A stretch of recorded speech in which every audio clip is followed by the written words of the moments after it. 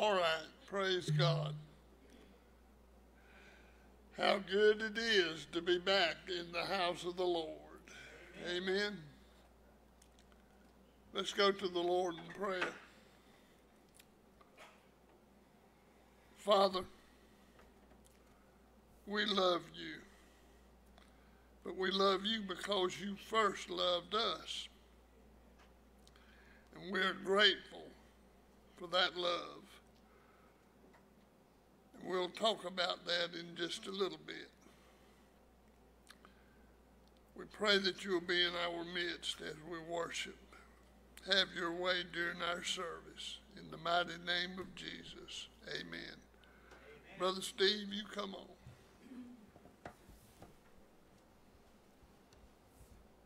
And good evening. We'll take number 12, we'll turn to page 48.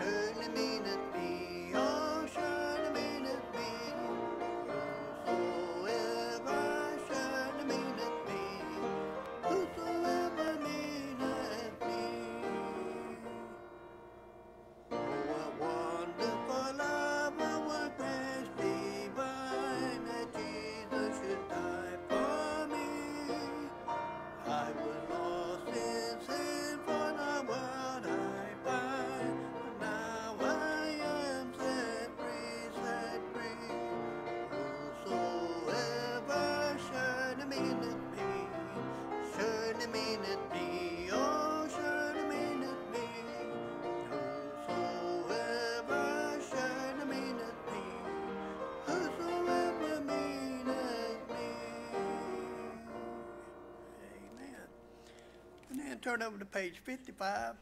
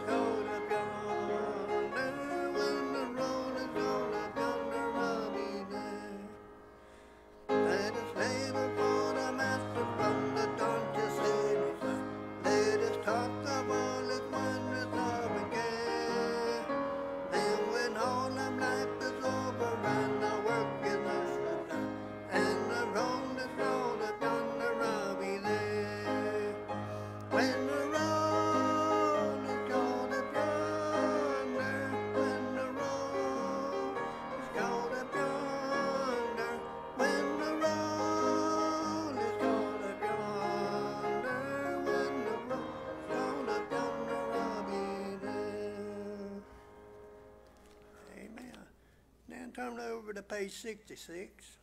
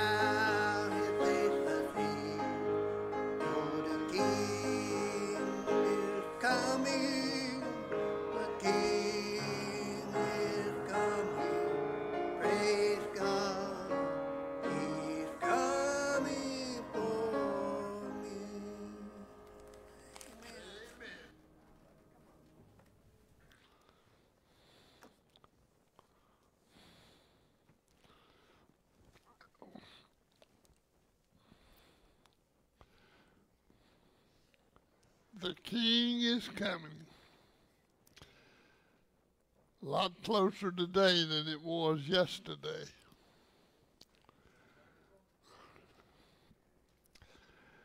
Take your Bibles and turn with me to John's Gospel, chapter 3.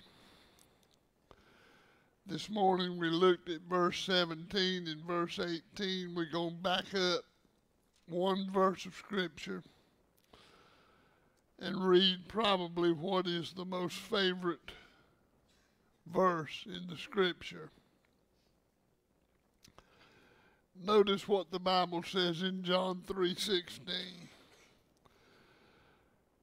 For God so loved the world that he gave his only begotten son that whosoever believeth in him should not perish but have everlasting life. And from that scripture, I made the statement many times I'm a whosoever and proud to be one. Amen. Lord, we're grateful for the reading of this great verse of Scripture. And I pray that we'll be able to glean from it the truth that we are a citizen of heaven. In the mighty name of Jesus, amen. Friends, listen. If you are a born again Christian, you are heaven bound. The last sermon that I heard Billy Graham preach, he made the statement in that message I'm going to heaven. And it's not going to be very long. And I'm proud to say that I'm a citizen of that great city. And it wasn't but a few days after that that he crossed from this life to the next. In fact, he made the statement one day soon you'll read that Billy Graham has died. He said, Don't you believe a word of it. He said, I'll be more alive that day than I am right now. But if you're born again, you are heaven bound. Now, I don't know about you.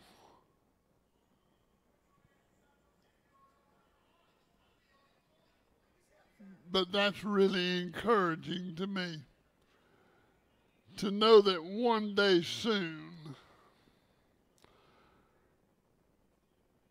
will enter into a great city. It's encouraging news to every person who has believed in Jesus Christ. Now, a person that has believed in Christ gains two things the instant they accept Christ into their life. First of all, they gain eternal life. Now, I don't know how you feel about that, but I'm thankful that I'm going to live forever. Eternal life. One day soon, you'll read my obituary. But don't leave a word of it because I'll be more alive that day than I am right now. The second thing that we gain when we get saved is an everlasting home, a heavenly home. In this message that I'm going to try to bring to you, we're going to study the assurance of salvation, the everlasting heaven, and how we're to live our lives daily. Now, first of all, as I think about our text verse of Scripture, it gives to us the assurance of eternal life and a heavenly home. Many think that they had something to do with gaining their salvation. But the fact is, you did absolutely nothing to warrant your salvation. You did absolutely nothing to earn your salvation. You did absolutely nothing to achieve your salvation. You did absolutely nothing that was worthy of your salvation.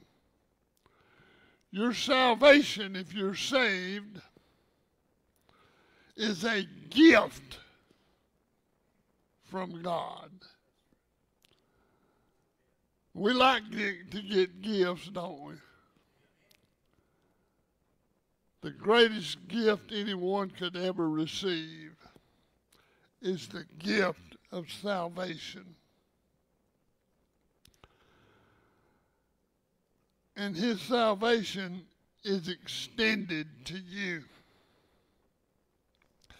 by his mercy and by his love. The Bible says God so loved the world. And I tell people all the time you can take the word world out right there and write your name. For God so loved you that he gave his only begotten Son. The Bible teaches us that Jesus is the author of our faith. But not only the author, the Bible also teaches me that he is the finisher of my faith. Nothing, listen, nothing can undo what he's done. Now there's a lot of people that tries to undo it. But there's not one thing that can undo what God has done.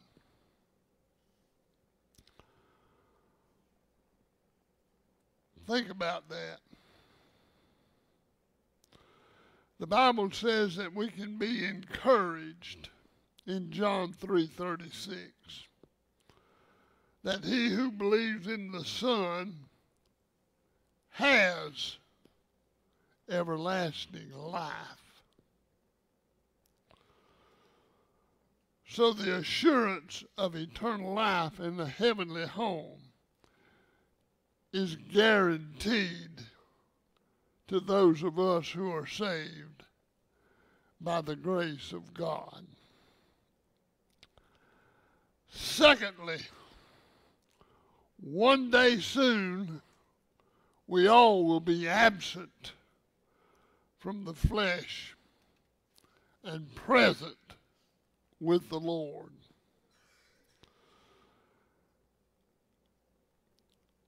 Death is not an end point for the believer, but it is a transition into the direct presence of the Lord. In 1 Corinthians 15, verses 52 and 54, Paul, the apostle, called it a change. We move from temporary fleshly homes into a glorified body to our eternal home, heaven. One day, we'll have a body like Jesus' body.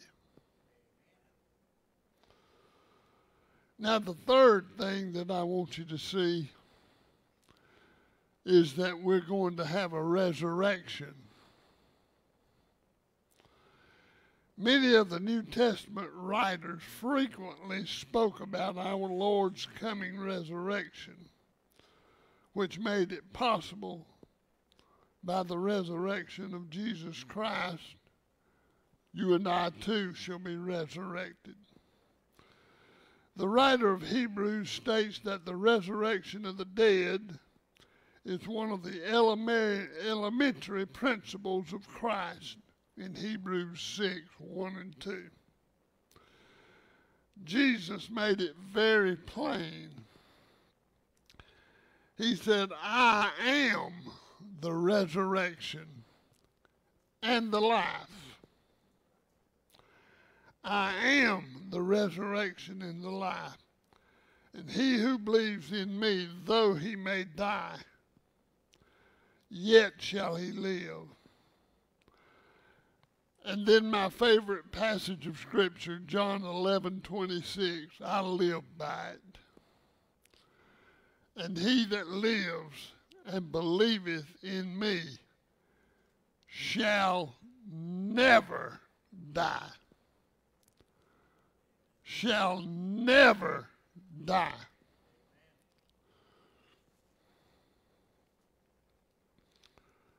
I believe it. He followed that statement by saying, Believest thou this? And I believe it with all of my heart. He that liveth and believeth in me shall never die. Paul taught we've been crucified with Christ so shall we be raised from death as Christ was raised. Romans 6, 5, 8, 9. The fourth thing that I want you to see in our text verse of Scripture promises us that we can be overcomers. Those of us who are saved by the grace of God have five wonderful promises coming to us. There are five things that I want you to see. First of all,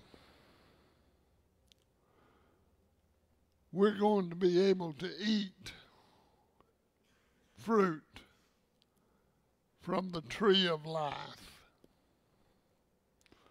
You find that in Revelation chapter 2, verse 7. The second thing that we're going to be able to do is to receive the crown of life. You find that in Revelation 2:10. The third thing is that we'll be clothed in white garments. You find that in Revelation 3 5. The fourth thing that the Lord's going to give us is a new name. Revelation 3:12. And the fifth thing that we're going to receive is to be able to sit with Jesus on his throne. Revelation 3:21. Now let's look at our heavenly home for just a moment. In John's Gospel, chapter number 14, Jesus said, I'm the way, the truth, and the life.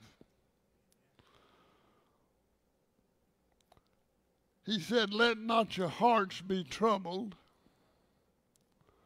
Ye believe in God, believe also in me. In my Father's house are many mansions. If it were not so, I would have told you. I go to prepare a place for you. And if I go to prepare a place for you, listen to this I will not I might, I will come again and receive you unto myself, that where I am, there you may be also. That's going to be heaven.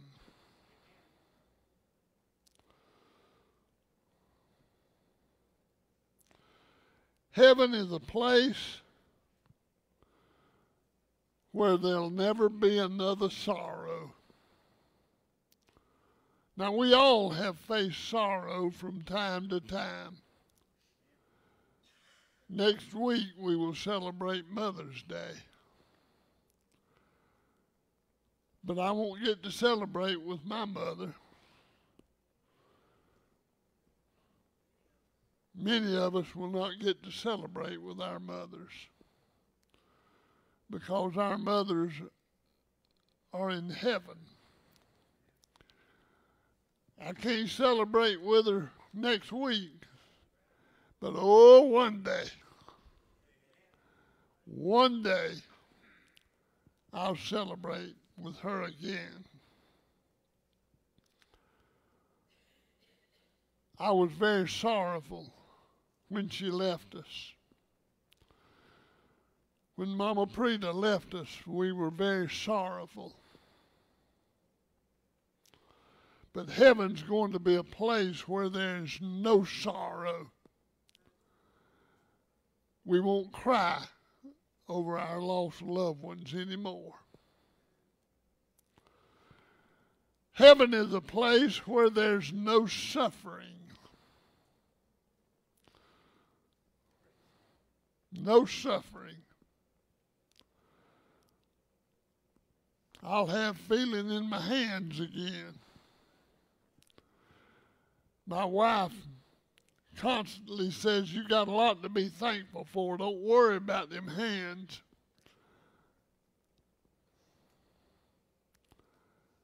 But then she don't have to live with it.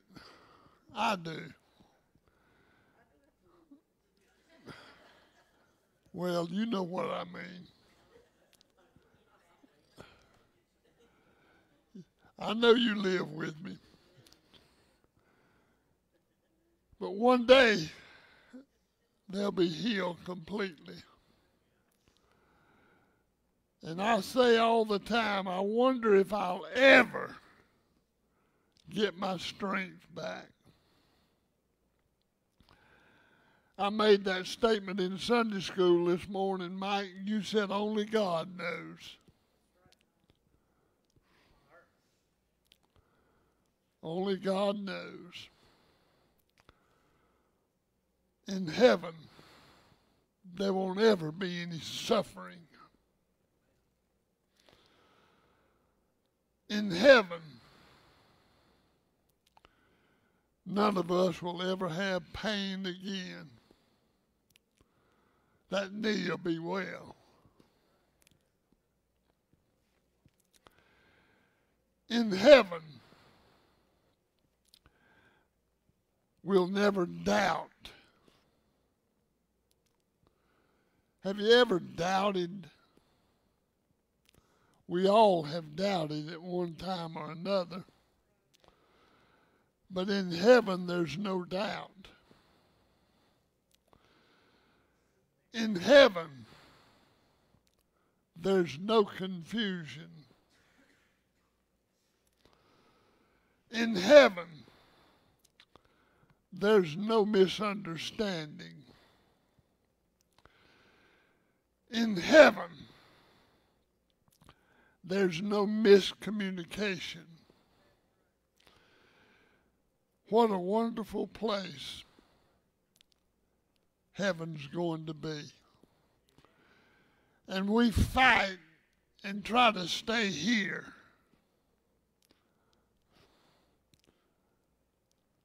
Fight to live to stay here. Heaven's going to be so much sweeter.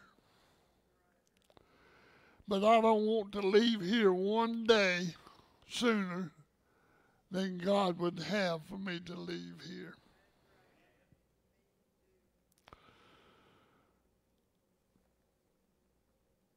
We all ought to live in the hope of heaven. Billy Graham said that. We all ought to live in the hope of heaven. Heaven ought to be at the forefront of our thinking. It ought to be a lively hope that's in us. And this hope works in three ways. Three. Three ways. First of all, it ought to help us to live a renewed with a new desire to abstain from all evil. Secondly, it ought to give to us a new desire to witness to others about Christ. And thirdly, it ought to fill our hearts with great joy about the future. You know, we look at the news and we hear bad news all the time. It's time to quit looking at the bad news and start looking at the good news. And the good news is that Jesus is still in control. He's still in control. Now, we don't watch a lot of news in our house because if you're not careful, that bad news will get off on you and cause you to live negatively. God doesn't want that. He wants us to focus on the eternal. Now, the person who has their eyes on a heavenly home and a heavenly reward is a person who's going to want to do everything within his power to abstain from all evil and to embrace what God calls good.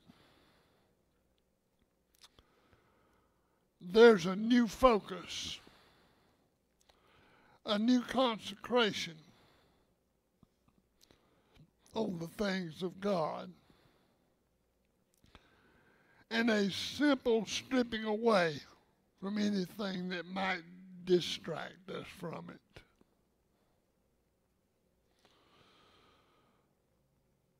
As I bring my message to a close, the person who has an active living hope about heaven has an exuberance of joy.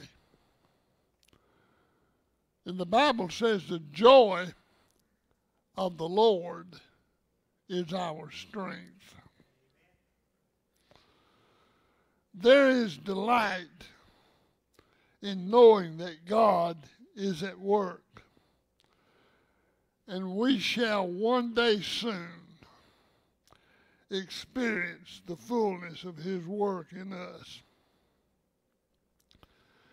There is joy in knowing that we will always have a tomorrow in which to love and serve our Creator. Are you assured of that tomorrow? If not, friend, you can be. All you've got to do is come to Jesus. And he'll give you joy unspeakable and full of glory. Father, we thank you for the message of the hour. I don't know, Lord, if it touched anybody else, but it sure touched my soul. And I'm thankful that you promised us a heavenly home. That if we would just believe and trust in you, that we could be a whosoever and believe and live forever. Thank you for that promise. Have your way during this time of invitation in Jesus' name. Amen.